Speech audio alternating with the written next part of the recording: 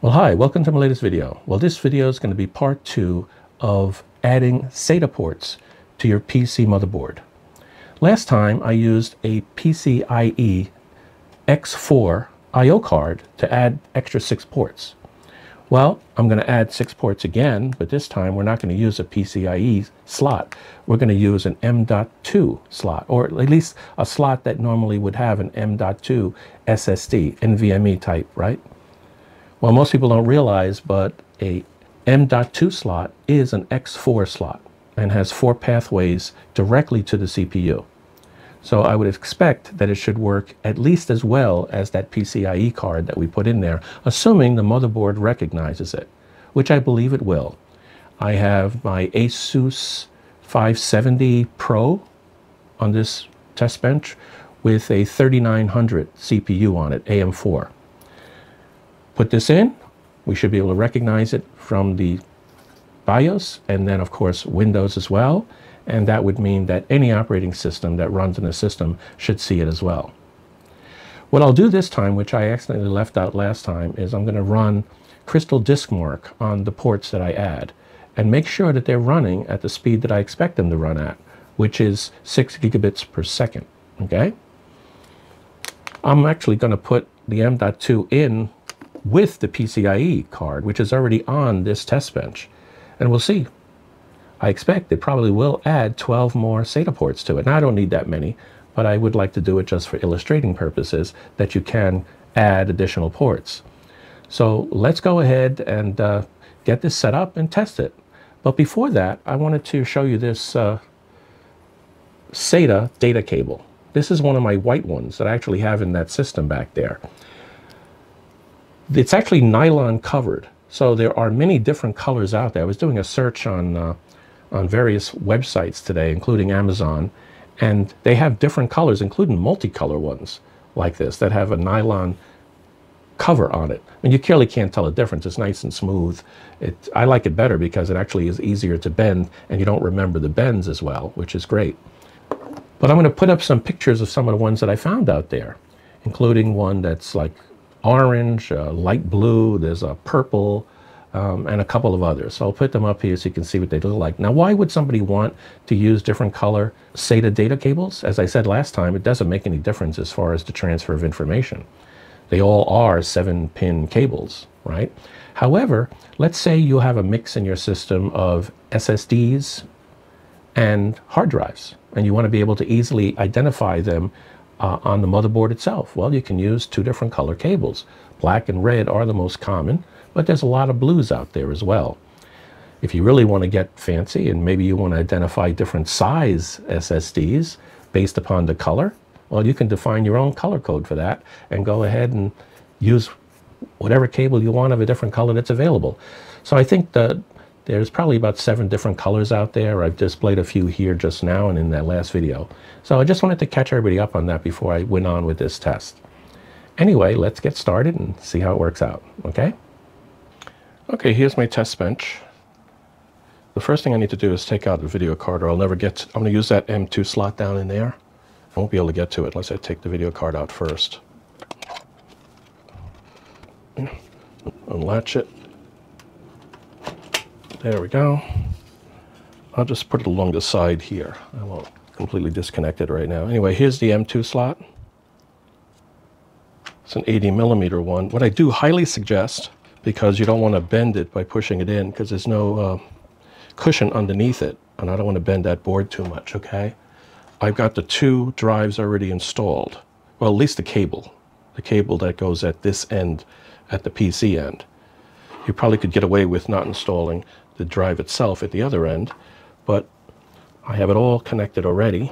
And now I'm going to put this in its place. A little hard to see. Let me uh, get a flashlight in there to help me. There we go. Got to be careful with the M2s. There we go. I got it in. It's now slightly bent up, just like it was an M2 drive, right? Let me put the screw in. I have a magnetic screwdriver here. You don't want to you don't want to lose those screws.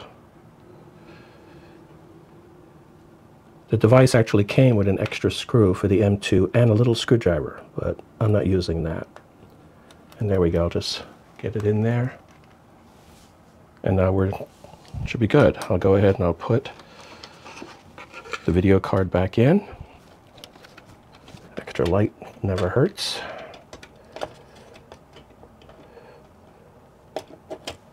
There we go. And it's in. Let me just uh, secure it over here at the top so it doesn't easily knock loose. Okay, and the drives are already attached. I got a total of four drives here. Okay, I have two of them connected to the original PCI card over here. And I have two that are connected up to the M, M2 controller for SATA, okay? So at this point, I just have to uh, power it on and uh, we'll see what it looks like. Okay, I have the power supply on, I connected up the monitor. So now I'll turn this on. I'm gonna jump into the BIOS first. There we go, I heard the beeps. I see all those lights came on, the LEDs on the M2 SATA controller. Okay, it tells me to go into uh, BIOS by hitting F1. And there we are. Now if you take a look at the center third of the screen, about the top third of that, the top half of that actually, you see all of the AHCI drives listed. Um, that shows two of them are connected to M2 underscore 1, that's one of the 256 and a 480. And then we have the other one to the PCIe times 16 under 2, so the second 16-bit PCIe slot, and that has the same thing connected to it. So all four drives are seen, and if I go and exit this, I should be able to see Windows come up. So let me try that. Heard the beep. Okay, just waiting for the little Windows circle. And there it is. So Windows is coming up with both controllers in it. Let's see what they look like once we get them in. I do label all of my SSDs, so we should be able to easy, easily identify which is which. Okay, logging in.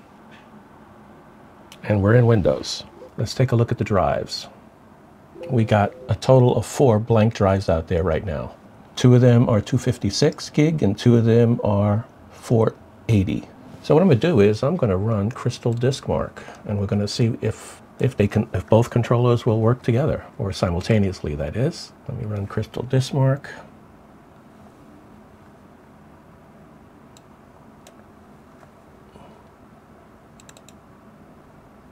64-bit, say okay. Okay, that's one. I'm going to open up four of them, one for each drive, and we're going to do it simultaneously. Get all four open. Let me line them up here. I'm going to have each one try a different drive. So I'm going to do this first one as drive D, this next one as drive E, this next one as drive F, and the last one's already set to drive G. So what I'll do is I'll try to kick them off in rapid succession so that they're running simultaneously.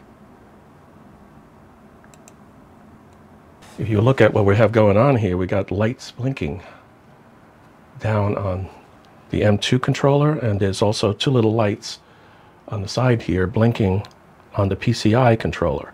So four drives are simultaneously going, two on each of these. They're definitely running at 6 gig, that's for sure.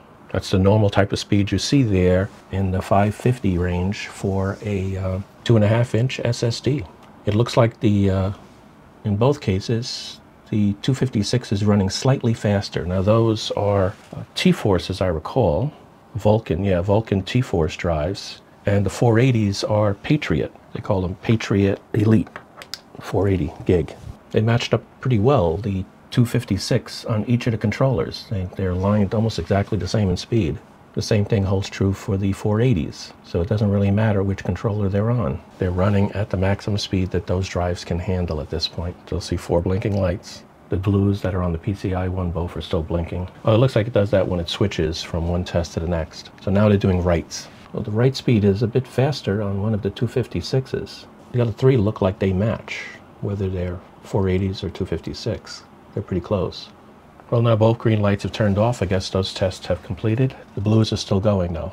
Actually, just one blue, it looks like. The other blue is just solid on. It blinks when it's accessing and stays solid on for the PCIe controller, whereas the green ones on the M2 go out completely when they're inactive. Okay, so that test uh, worked pretty good. Uh, I think this is the only limit to the drives I'm going to do. I don't want to put another power connector on here in order to drive more drives. And I never like to split power if I don't have to for the uh, SATA power connectors. So I think that completes what I wanted to do today. And uh, you'll see the links down below for this M2 one that I bought and another one that I saw as well. You could take a look at it. They both look very similar. One is more of a name brand than the other though. Mine is the one without a name brand.